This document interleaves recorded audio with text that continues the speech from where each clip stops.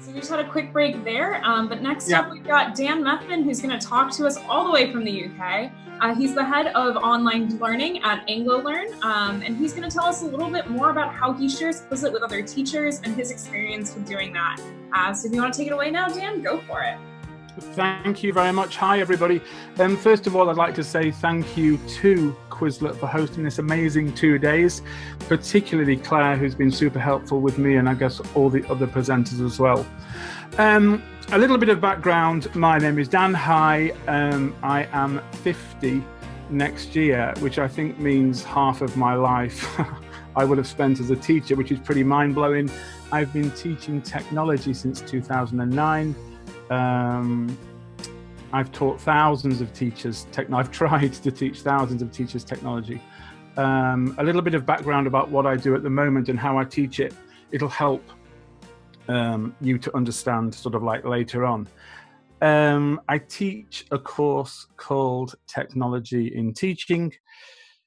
And basically, it's an EU funded course. And what that means is that within the European Union, teachers from all over, from every country, can apply from wherever they are to the EU to study on a course in another country and become a better teacher. And if they are successful and if they get funding, then they come to see me. Um, in you can see the picture. Hopefully, that's where you know where I work and where I live um, in the north of England.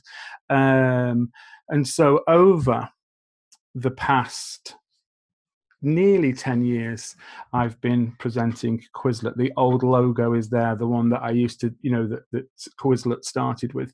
And um, it's one of the very few tools that I've used throughout the whole of my nine slash 10 years. Um, there's a couple of others. Some have come and some have gone, and um, some are not as good as they used to be. Some of them are not free anymore. But Quizlet is one of the you know the go-to um, apps that I've always used.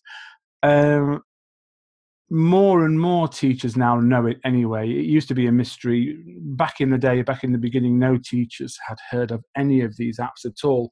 But um, more and more people nowadays have heard of um, Quizlet. So, what I do basically is I get a bunch of teachers from all over the EU, all manner, and, and beyond. I've got a Chinese student at the moment and a Venezuelan as well.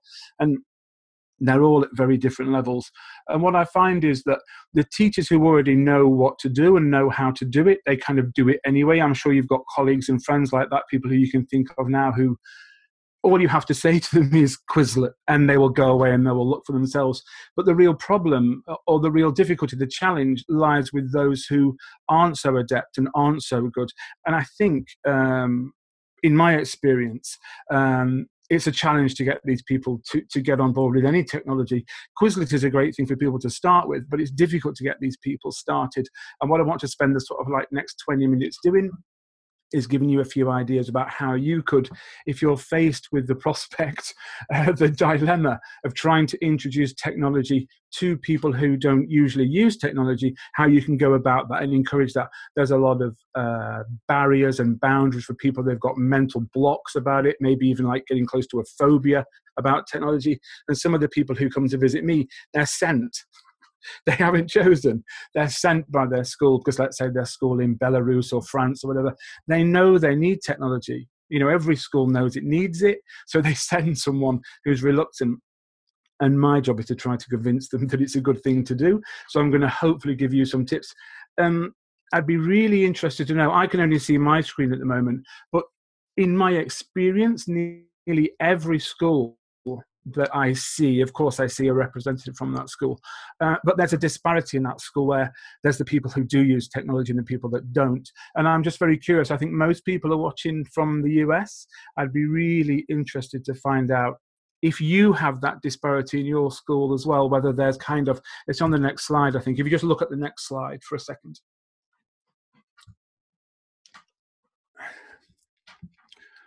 So would you say, say, I can't see at the moment, but hopefully if you could write into the comments or the questions whether or not you feel that your school is quite equal and that everybody uses technology, or whether you feel that there is this divide, which you can see sort of on the slide now, where at the bottom, as we can see, you know, the people who are comfortable with technology simply get better and better, which is, you know, it's great. Um, but, you know, the others get left behind. And of course, the gap just grows and grows and grows as those who can tuck their tablets and their laptops under their arms and race off into the sunset. And it's not a good thing. This is not good for our schools. It's not good for our students. Divisions could be created within the staff room. Students could become to pre- could come to prefer one teacher over another. And so I'd like to try and close this gap if possible and get more people on board. Of course, it would be great if more people use Quizlet. That's why we're here. But just technology as a whole, we need to try to get over some of these phobias and, and um, misconceptions or um, fears that some teachers have. So hopefully, people have written um, in the comments whether or not um, you have a disparity in your school. I say I know that in in Europe, you know, I know for sure that there is this um, disparity. So we're going to try to bring us closer together. I've based this. If you if you see the numbers, I've based this on like so like three twenty minutes. This I mean the last one maybe is flexible. That number two at the bottom it says two hand holding. We'll come back to that later. That might actually be longer than twenty minutes. But in my experience, what teachers really need to do is to get their problems off their chest. They may feel I just mentioned a couple of them confused, afraid, discouraged, um, they may have ostracized. People, teachers come with all sorts of worries and baggage about technology if they're not using it. To change this, it doesn't take a great deal. It's just a change of mindset. They don't need to become experts, but they need to be able to think that they can do it rather than can't do it. And in a way that's a very small thing but also in a way it's kind of a huge thing to change someone's like mindset in a way is not a big thing but i think it's very possible. I think that we can do it. So these on the next slide are some of the sort of like things that teachers say when they come to me. You may recognize some of them.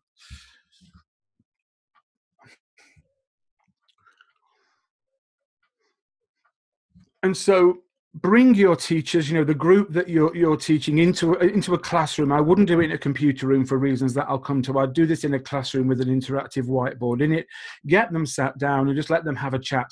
Um, i've got some questions um, this is what i usually use to start things off. If the teachers do have misgivings it will only take a matter of seconds before they start pouring it all out because it's built up this pressure about technology. And it may be, excuse me for jumping around a little bit, if we look at the first one, this is an experienced teacher and they're feeling threatened by the younger generation. Usually, usually, you know, um, mm, stereotypically, older teachers, of course, digital immigrants are not as good as technology as the younger teachers, you know, generally.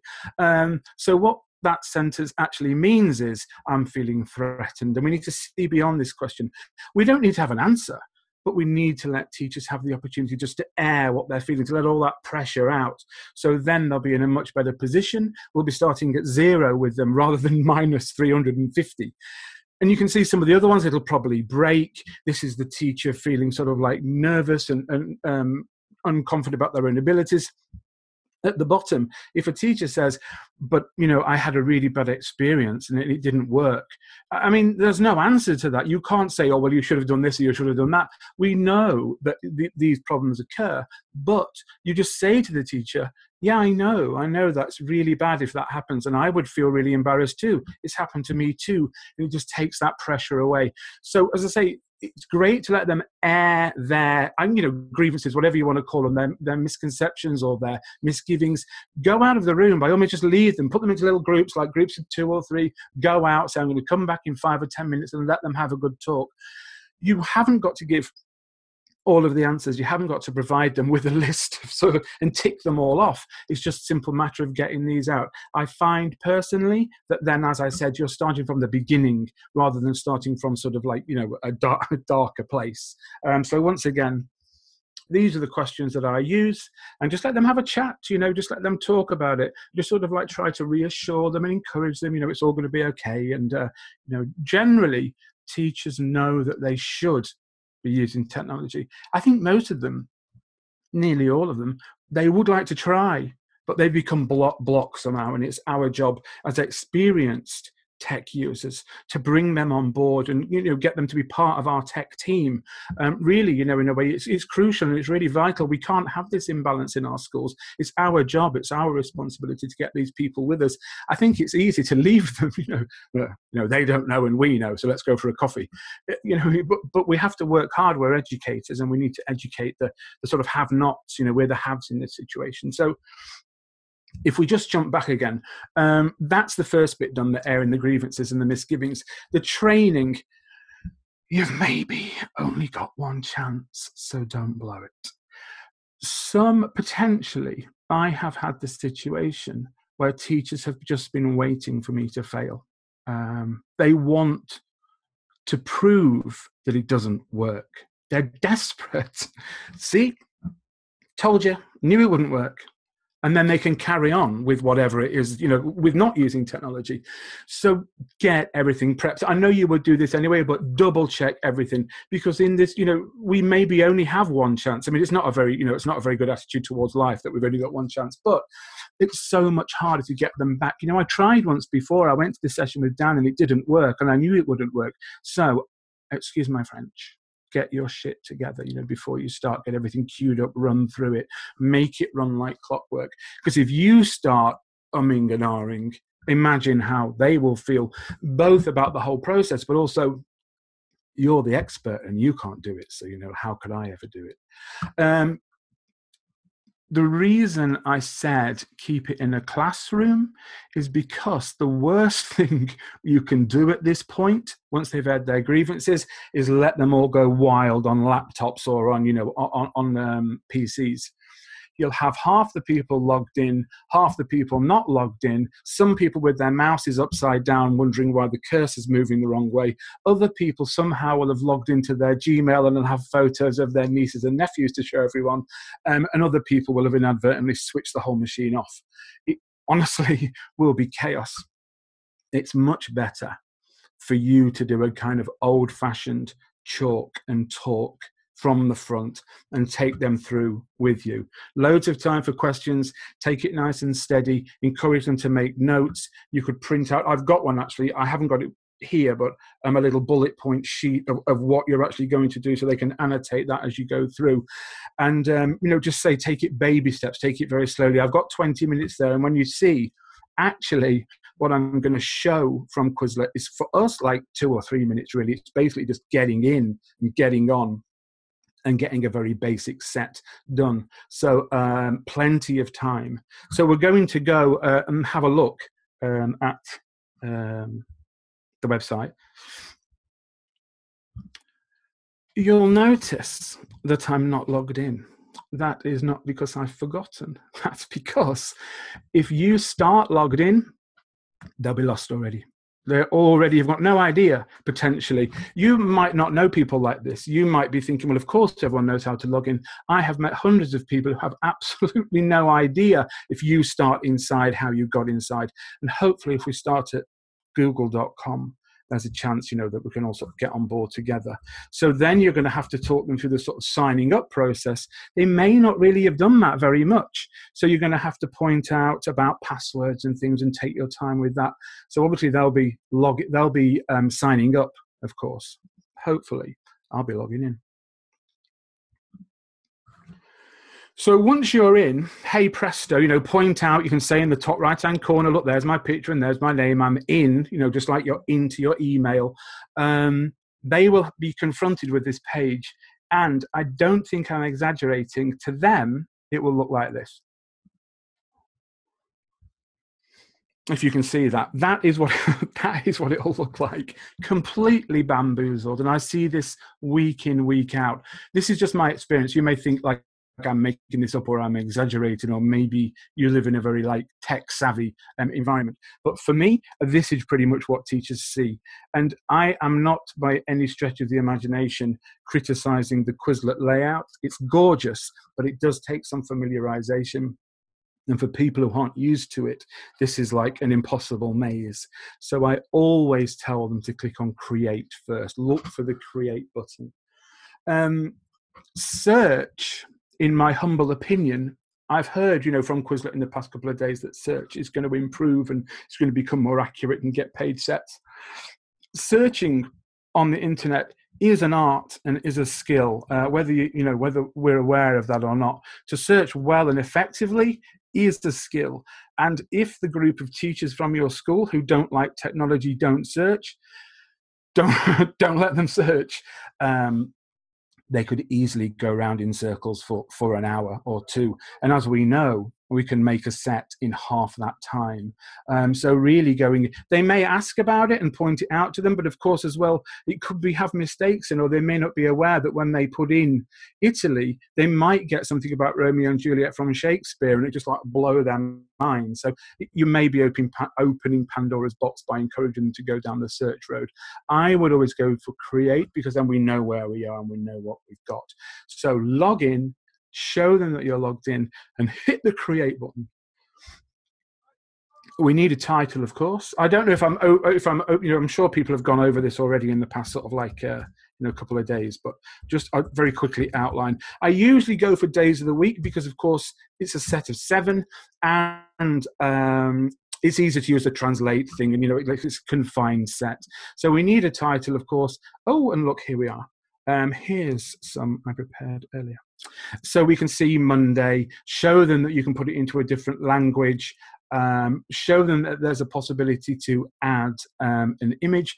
I wouldn't take it much further. What I would do as we add cards is get them up um, to you know come on up you come anna and anna comes up and adds wednesday and translates it into maybe her language. I know i don't know if you've ever tried it if you put all different languages into quizlet on the other side on the right hand side as the definitions it confuses it confuses quizlet. And when you do the flashcards it doesn't quite know which language it's in. So it's not something that i would encourage but just as you're setting up this demo set, you can just show people that their language is there as well. There's beautiful you know as, as, i'm sure you know so many languages there um you know slovakian and you know russian and all the languages. I've never known a language not to be there which for teachers from the smaller parts of the eu it's very heartwarming for them. So sooner or later we've created our full set. Three days later we've got our seven um, words. And as you can see I didn't realize I was going to be, you know, have the pleasure to do this. I recently cleared out my Quizlet. They went, I had hundreds and hundreds and hundreds. And just my luck, after nine years, I cleared it out like about two weeks ago. You can see it goes back to 2015. And you can see I've got days of the week, days, days of the week, days of the week. And like I say, this is the sort of set that I normally go with. So if we click on here, what I would do next, once we've created our set, is I wouldn't do learn to begin with because learn is like an i'm sure um, you know learn is an amalgamation amalgamation of other parts of quizlet. And live of course is excuse me that's people outside my window shouting. Um, i would stick with flashcards write spell test, and match. They are pretty self explanatory, even to our tech uh, immigrants. Uh, flashcards, write, spell, and test. They speak for themselves, really. Uh, they do need to be demonstrated. You do need to click on them, but just a couple of goes on each. I would spend some time on match because it's the gamification, it's the fun part, which hopefully is the whole reason that we're doing this. Why Monday here has got a pair of shoes on, I'm not sure. Um, it's a little bit cryptic. I have no idea why there's shoes in, is it Italian for Monday? But anyway, um, get different teachers up get them to play a little bit just to see that they can have a go. They will be very reluctant. They will feel that they're going to break it. But one teacher usually comes up and has a go, and they say to the others, it's all right. Nobody died. Um, and then you may get another one up. And of course, the best time here on the left, which I think you can see ticking away, this best time over here, they can all try and beat that. And suddenly, you know, like their inhibitions start to sort of melt away, and you can see themselves starting to enjoy themselves and think, maybe this technology is not so bad after all. So what, what we've done up to now is we've logged in, we've created a set, we've gone to create, we've created a set of seven, we've gone through not every function, but we've gone through sort of all of the different main functions, which is I've, I, not the first one, and not the last one. The only other thing that I would point out at this stage, obviously you're answering questions all the time and, you know, can I share this with another teacher, etc. And, you know, I mean, by this time, maybe if you don't know, it's not so bad. I mean, they're coming on board and they're getting with the program. So that their questions now are becoming more intuitive. And so you may not, you know, know all of the answers because they're actually quite clever questions all of a sudden. But the main question that they're going to have is basically, how do I get this out there. So, you know, what happens? Do my students have to come and sit at my desk? You know, that literally, how do I get this from me to them? And of course, we're clicking on the sort of share arrow and we're showing them the link. And what I normally do is copy the, copy the link and then log out of here so they can actually see. So take myself out and paste this link in and look at it back from the other view and point out really plainly up here. You can see that no one's logged in. You can see no one signed up. Your name is here as the teacher, and they can still play the game. And the penny sort of starts to drop with them a little bit. Um, and basically, that's it. It doesn't seem like much. I mean, we really have. I know, I know, we've just scratched the surface. But if I put this back up again and imagine me and you doing this Chinese for an hour or 25 minutes, that's probably enough. I, you know, I've I've got a small capacity for Chinese. It's just the same for them. So we have to be patient. Keep on the lookout. They will start to glaze over. Um, I didn't mention. Sorry, we went. We, we we went from the demonstration when we went in we went to like obviously to a computer room where we got the lap, laptops out. Sorry i forgot to say that between sort of like stage two and stage three. What you're doing while they're logging in and signing up is running around and sort of like reassuring them helping them sort of like firefighting really. Um, of course you know i know this is obvious but staying patient staying calm showing them again. And um, they will get frustrated and they will they maybe will start to get annoyed. They will start to get annoyed. It's annoying when you can't do something. Think of something that you can't do. You try and do it so be calm with them and be patient. They'll be okay they'll be okay. Reassure them as much as you can. And what will happen is sooner or later they will have made a set. And they'll start to tap their friend and say, Come look, look, you know, look what I've done. It's amazing a lot of the time these are older people and as i said i'm 50 soon. And as older people we don't learn new things very much. It doesn't happen very often. We do the things we do. We don't often take up a new sport um, or a new hobby. And so we don't often have this kind of like childlike pleasure of learning something new for the first time. And you see it when these people who don't like technology start to get it. And the look on their face is the honestly, it's a really beautiful smile when they think, my God, I think I might actually be able to do this. And that is where we want them to be. That's all it is. Getting them from feeling that they can't to feeling that they can. They don't realize there's a really long way to go and an awful lot to do um, to become very competent in various tools. But if we can get them from believing that they can't to believing that they can, what a day, you know, what an achievement, um, what, a, what a great thing to do, you know, to spend an afternoon with the group and managing to do that, to turn them around. And as a teacher, you know, it's very empowering for them too. So if we just jump back to um, the presentation, um, I said before there's the 20 here. I think that's true. There's the 20 here where you demo it in front of them. I think that's true. This third one, which is where we go to the computer room, that might be a bit optimistic. it may need a zero adding on to the end of it. Um, I'm not being disrespectful. Um, these are great, great people, but I've seen the problems that we've had. And, and some people at the end of 20 minutes, they're not logged in yet. They're not even signed up yet. Um, so that may be 40 minutes, 60 minutes. It may be another session, you know, where you take it to you, and in the next session, you start back at, you do the demo again and go through it again. But, uh, you know, patience is a virtue, and, you know, slowly but surely, um, we can get these people on board. And our schools, you know, can become better schools and we won't have this divide um, that I believe sort of exists. Certainly exists, as I say, in Europe. I think most people who are watching are in the US, so I can't speak. I I, I don't teach Americans so much because you already speak English. You see.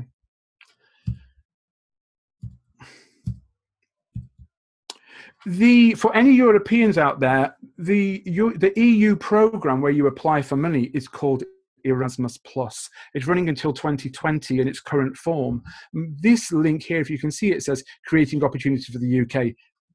That's just because I'm in the UK, so my link is a UK link. If you look at this uh, from um, Latvia, it will have Latvia there and not the UK. Uh, and if you click the if you click the link, um, all these links will be available. I mean, of course, um, anything you want, um, I'll provide, obviously. And you can see here, apply for staff mobility funding, and that's where you would go to to start your journey. Um, this is my school, um, Anglolang. Um, there's the course on there. It should come in a minute. It takes a second. Um, it takes three seconds, five seconds. Um, this is the computer room, and these are my beautiful students. Um, you see, they were afraid just 48 hours before. and um, you know, there's, there's, there's lots of info on there as well. So that's my school, um, Anglolang. And then, last but not least, in my free time, I run a podcast with my American friend called Jennifer from San Diego. And every Friday, it's um, chat fun and language improvement. What more could you want? That's my email address at the bottom it's been a real pleasure and a privilege, I think, to almost close out this um, unconference. Obviously, if there's any questions, I hope it's been useful. And just remember, you know, be kind and be patient, and hopefully we can get more people on board and more of us can become comfortable and confident uh, with technology because we, we need to be, we can't have this disparity, which I certainly see on a daily basis. So thank you for your time. Awesome. Thank you so much, Dan. We've got lots of comments coming in and people echoing, you know, the things that you've said about like the technology divide and really bridging that gap. Uh, yeah. So definitely right with, you know, not just this being in the UK, but also being something right. really relevant to a lot of people. Um, good, so good. people are really applauding you for your patience and really appreciated that talk. So thanks Yay. so much. Pleasure. Yeah, so now that we're uh, wrapping up the rest of the day, I'm going to send it over to Eric, who's our head of community here at Quizlet, and he's going to really wrap things up by sharing the rest of the resources we have for you guys um, and just finishing off the day.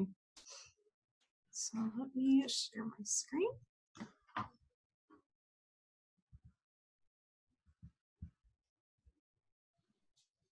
Cool. Hello, all sure this thing focuses on me. uh, I'm the community manager here, and I'm focused on content. Um, but really, the first thing I'm focused on is our ambassador program. And I know that some people here are probably ambassadors that have joined us. Um, and up here, you'll see Colby Chambers. Uh, he's one of the people who presented today. And um, he had, uh, um, he, he's, uh, he's one of these ambassadors. And basically, it's just a group we love to spread the word. Uh, we know from talking to teachers that word of mouth is the main way people discover Quizlet, or teachers do at least. And so we know that's really important. So we like to connect with those people, you know, people who are often very social media savvy. And we do that um, through this program.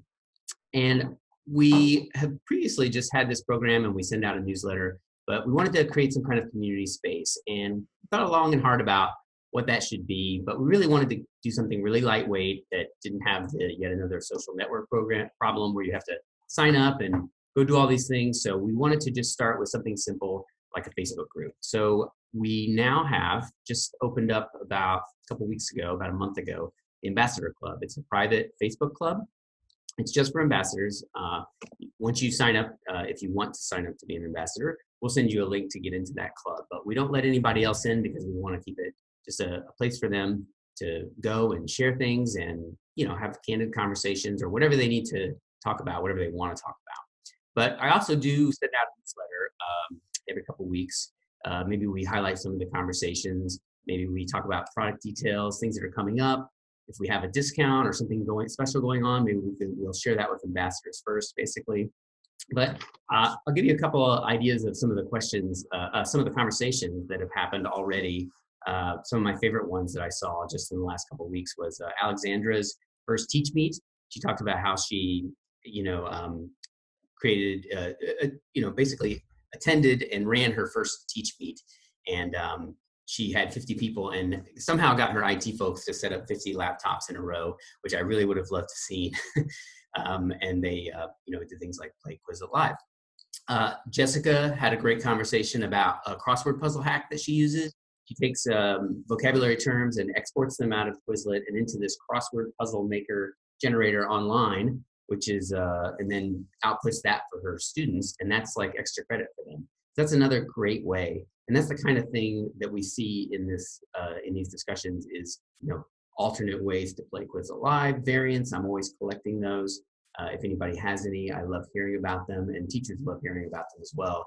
Another great conversation, Adriana in Brazil talked about how she uh, kept visiting a doorman who wanted to learn English, so she set him up with Quizlet, and over time, as she kept visiting him again and again, he got better and better at it.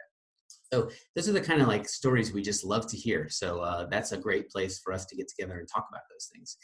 Um, beyond the Ambassador Club, what I'm working on right now is creating some videos. Um, I've got like a five part how to video series. It's pretty, pretty, you know, stripped down and basic.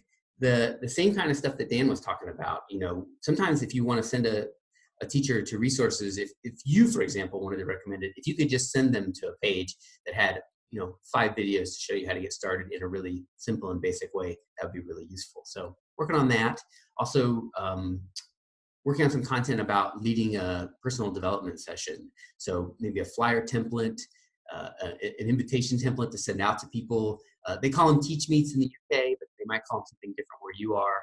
Um, some Google slide presentations, things that we know that ambassadors need to ha- have a better, to run their own PD session. So if that's the kind of thing that interests you, uh, the ambassador program might be something you're interested in. Uh, it's not for everyone. We're not trying to grow it to this giant level. We just really want people that are really committed to, you know, telling other teachers about it. Um, people who can, you know, follow us on social media, amplify the things that we, uh, messages we want to get out, but also amplify messages that they want to get out too. So I, I, I try to make sure I'm following as many people as possible, uh, either on Twitter or Facebook or Instagram, and and really connecting with people. Keep the keep a tight line of communication with these folks and then uh, ordering a bunch of new swag like enamel pins. I just got some uh, some little pins here. These aren't enamel ones, but I'm going to order some enamel ones. And ultimately, I'd like to get to a point where I'm able to send out some of these resources to a teacher who's going to run a PD session. Uh, so I, I, I'm working on that now, and and the real challenge is to figure out how to best meet people people's needs internationally because we have a lot of teachers around the world and uh, this uh, ambassador group is definitely full of a lot of people who uh, you know are in far flung place far flung places and so it's a great way for me to learn how educational systems run you know in other countries so if that's the kind of thing that sounds good to you i would encourage you to uh, type in google um, in google type in you know quizlet ambassador program and you'll probably see that page right away and you can sign up we'll get you set up in there I just wanted to call out a couple of my favorite moments that we've seen or moments that we collected uh, throughout this conference last few days on social media. I just love seeing the things that people posted, especially uh, Miss Upfelman, who uh, bribed her uh, children with snacks so that she could listen. Uh, Nathan had a great tweet about um, how cal- calm and cool he was until he saw that there were about a thousand people waiting for his presentation. And then um, uh, someone wrote a blog post in the first two hours and posted it, um, showing some of the things that they do with Quizlet, which I, I, just really love. And then finally, someone got the worst time zone uh, award. Uh, Adriana in Malaysia started watching at 3:30 in the morning. So we really want to thank you so much for all the enthusiasm that you had shared. You know, being here and spending the time and uh, personally, I, we just wanted to also thank you know Dan for sharing with teachers uh, presentation, Patrick McMillan for all those great Quizlet variants. I've got it actually a blog post uh, collecting Quizlet live variants or Quizlet variants. If you've got some, uh, go on our blog and fill out that form and tell me about it, and I can share it with other people. And follow us on Twitter, Facebook. We'll, we share those kinds of uh, details as we collect them from teachers.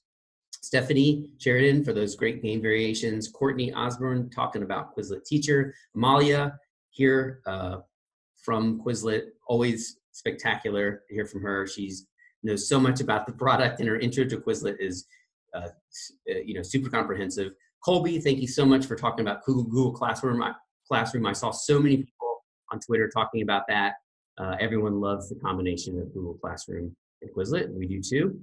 Uh, Jessica, thank you so much for the Quizlet Live and especially for the Quizlet diagram talk. So many people I saw say, you know, I didn't even really explore diagrams or didn't even really use it. I'm definitely going to make sure to use it with that. Uh, Nathan Hall, everyone really loved your taboo game. That's a spectacular one. I'm definitely going to have to collect that one and send that out to people. Michael uh, Sneed, the student success plans, I really enjoyed that. I could tell that like you really got uh, everyone in school or in your class or other teachers excited about using Quizlet. Melanie Millard, thank you for the challenges about how your students uh, struggle to get to the top of the mountain. I love that. I love that you have like a visual thing as well that they can follow along and compete and learn at the same time. And then finally, thanks Steve Wick for uh, talking about formative assessment, something we hear about a lot. And uh, finally, I, if you uh, wrote in during the chat and said that you have taken the Quizlet Live song and you've decided, taken to performing it in class on your ukulele, uh, if you want to record that for me and send it to, and send it to our way, we would absolutely love that. We, we were dying to see someone play ukulele and play that song. I have a ukulele. I'm not very good at it, but if I don't hear from you, I'm gonna have, I'm gonna be forced to break it out and try to figure out how to how to play that song myself. Thank you again. I want to turn it back over to um, Claire. And um, if you want to get involved in Quizlet Ambassador, look it up connect with me, and uh, we'll talk to you then. Cool. Awesome, guys. So, with that, we're just going to wrap it up. I just want to say thank you once again for everyone who attended. Uh, we were really amazed to see the number of people who attended. I think yesterday we had like 1,600 people total, um, and we're excited to see how many people also came as well today. Um, so with that, we're also going to be sending out all of you guys an email. So if you've been asking about where you can get your professional development certificate or where you can find these videos later on, any resources, we're going to send you out an email. Um, we're going to work on posting the videos as well of all the recordings.